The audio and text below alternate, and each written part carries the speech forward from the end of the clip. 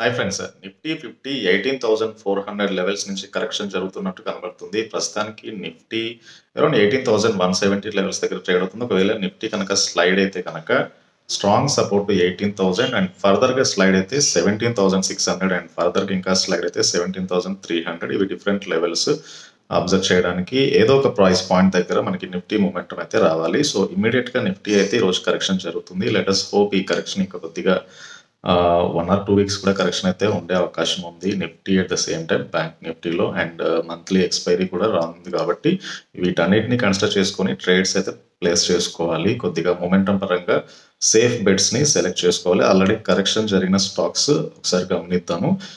First stock Sterlite Technologies and Sterlite Technologies like sales cables and telephone సెగ్మెంట్లో ఉంది Sterlite Technologies and stock అయితే fifty two week high నుంచి stock correction జరుగుతూ వస్తుంది.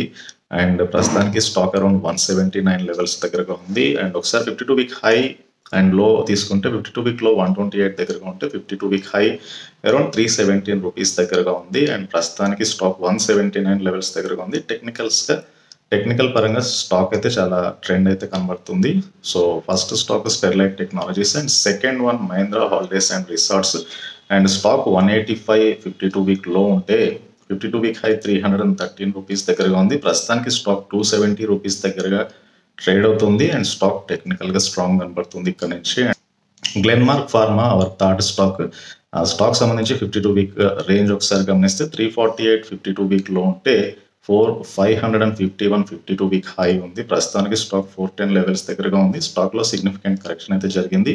And ఫర్దర్గా technical indicators అయితే ఒక పాజిటివ్ ట్రెండ్ అయితే మనకి ఇండికేట్ చేస్తున్నాయి. అండ్ ఫర్దర్గా మార్కెట్స్ డెఫినెట్గా మనకు ఒక టూ త్రీ వీక్స్ నుంచి ఎలాంటి పాజిటివ్ మొమెంటం అయితే ఉందో ఆ పాజిటివ్ మొమెంటం అయితే ఉండకపోవచ్చు అప్ సైడ్లో సో అప్ సైడ్లో ఒకవేళ పాజిటివ్ డైరెక్షన్ ఉన్నా కూడా అంత ఫాస్ట్గా మార్కెట్స్ ఇక్కడ నుంచి పెరగకపోవచ్చు. డెఫినెట్గా ఒక రోజు కరెక్షన్ ఒక రోజు పాజిటివ్ మూమెంటం ఇలానైనా ఉండొచ్చు. లేకపోతే గ్రాడ్యువల్గా మార్కెట్ పడిపోవడం ఇలా జరుగుతుంది.